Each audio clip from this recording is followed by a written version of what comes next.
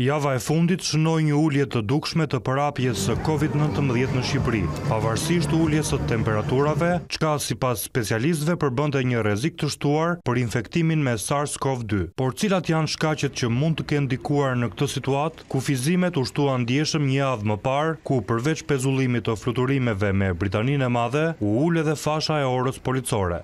kufizimin e aktivitetit të bareve të restoranteve, fast food-e, lokale që ofrojnë shërbim për klientët nga ora njëzet e tridhjetë deri në orën gjashtë duke filluar nga data njëzet e katër dhjetor deri në datë katër janar.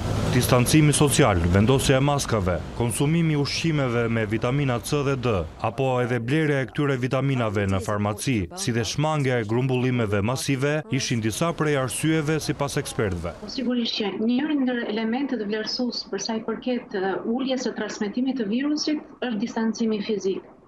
Festat gjithmonë nuk ta mundësojnë këtë fakt. Pra, do të kishim sërisht grumbullime.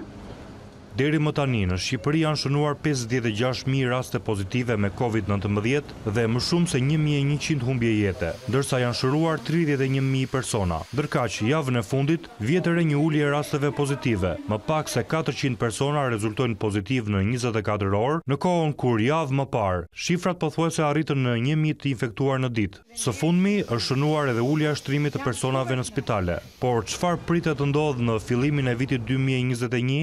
Shkollat do t'i rikthehen aktivitetit. do të fillojnë sipas orientimit të Ministrisë së Arsimit që i ka deklaruar tashmë për datën njëmbëdhjetë janar. Afati i kufizimeve mbaron gjithashtu në ditët e para të dy mijë e njëzet e njëshit. Shqipëria ende nuk ka një datë për mbërritjen e vaksinës anti-Covid, apo cilën do të përdorë. Mbetet të shihen sugjerimet e reja të Komitetit të Ekspertëve, të cilët gjithashtu do t'u referohen zhvillimeve të këtij fundviti për sa i përket shkallës së përhapjes së Covid nëntëmbëdhjetë.